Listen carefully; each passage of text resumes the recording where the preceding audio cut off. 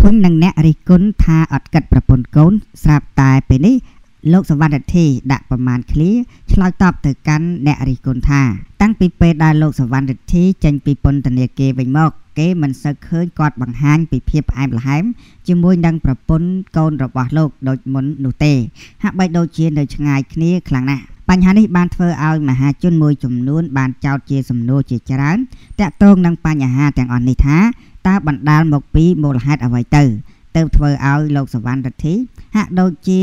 សោះអង្គើជាមួយប្រពន្ធកូនក្រោយពេលចេញពីពន្ធនាគារវិញអ្វីដែលធ្វើឲ្យមហាជនមួយចំនួនចាប់អារម្មណ៍បន្ថែមទៀតនោះគឺពេលដែលលោកលាចាកសិក្ខាបទវិញហើយលោកបានទៅដើរលេងនៅឯខេត្តសៀមរាបដោយមិនបាននាំយកប្រពន្ធកូនទៅលេងជាមួយនោះទេ ជាពិសេសនៅថ្ងៃទី23ខែតុលាឆ្នាំ2020ក្រោយពេលប្រពន្ធរបស់លោកសវណ្ណរិទ្ធីបានបង្ហោះសារថាម៉ាក់ខ្លាចបំផុតតែហេតុអីកូនក្រនឈាមតតែបានឥឡូវខ្ញុំត្រូវបញ្ជូនកូនស្រីទៅពេទ្យធំជាបន្តហើយក្រោយពេលបានឃើញប្រពន្ធលោកសវណ្ណរិទ្ធីបង្ហោះសាររួចមកមានអ្នកខមមិនមួយចំនួនបានចូលទៅបញ្ចេញមតិខាងក្រោមនៃការផុសដោយរៀបរាប់ថាបាទប្តីបានឃើញជួយឆ្លើយខមមិនខ្ញុំផងមុនពេលបងដើរចូលពន្ធនាគារដោយស្រឡាញ់និងព្រួយបារម្ភប្រពន្ធណាស់ផ្ដាយផ្ដាំគ្រប់គ្នាឲ្យជួយមើល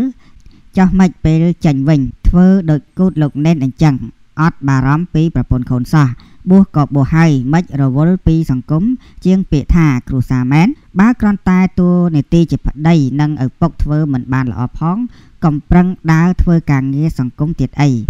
រៀនធ្វើជាឪពុកដែលមានទំនួលខុសត្រូវសិនទៅខ្ញុំសរសេរព្រោះជាអារម្មណ៍មនុស្សស្រីប្តីបងមើលទៅតាំងពីចេញពន្ធនាគារវិញ ដូចជាមិនសូវខ្វល់ខ្វាយពីអារម្មណ៍សួរសុខទុក្ខប្រពន្ធកូនសោះជូនពរអូនតូចឲ្យឆាប់ជាពីជំងឺវិញផង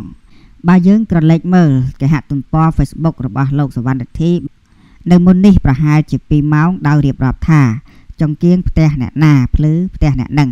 ចោះហេតុអ្វីមនុស្សមួយចំនួន ចូលចិត្តកាន់ទៀនដើរចូលមកបំភ្លឺចង់ដឹងចង់លឺរឿងគេនៅក្នុងផ្ទះអ្នកដតីខ្លាំងម្ល៉េះអ្នកមានដឹងទេថាទៀនដែលអ្នកកំពុងតែកាន់នោះពេលខ្លះអាចដុតផ្ទះគេឲ្យឆេះបាន ដោយមិនដឹងខ្លួន សូមយកយល់ផងបើអាណិតស្រឡាញ់ក្រុមគ្រួសារខ្ញុំសុវណ្ណធីបាទប្រិមិត្តនេះគឺតកតកនឹងប្រិមិត្តក៏ដូចជា អ្នកគ្រប់គ្រងមួយចំនួន បានបញ្ចេញមតិទៅលើលោកសវណ្ណធីថាក្រោយពីចេញពីពន្ធនាគារវិញហាក់បីដូចជាសោះអង្គើយនិងប្រពន្ធដោយមិនបានថតឬក៏មិនបានសំណេះសំណាលប្រពន្ធកូនដូចជាការនឹកស្រឡាញ់ដូចមុននោះទេអញ្ចឹងបានជាមានអ្នកខមមិនបាទចោតសួរ ហើយក្រោយមកលោកសវណ្ណធីក៏បានឆ្លើយតបទៅវិញ ថាចង្គៀងផ្ទះអ្នកណាឬផ្ទះអ្នកនោះបាទចឹងយើងបាទចឹងយើងកុំចង់ដឹងរឿងគេអីបាទគ្រាន់តែដឹងថាលោកសវណ្ណធីសុខសប្បាយបាទជួបជុំប្រពន្ធកូន មានសេរីភាពបាទឡើងវិញទៅហើយបានហើយ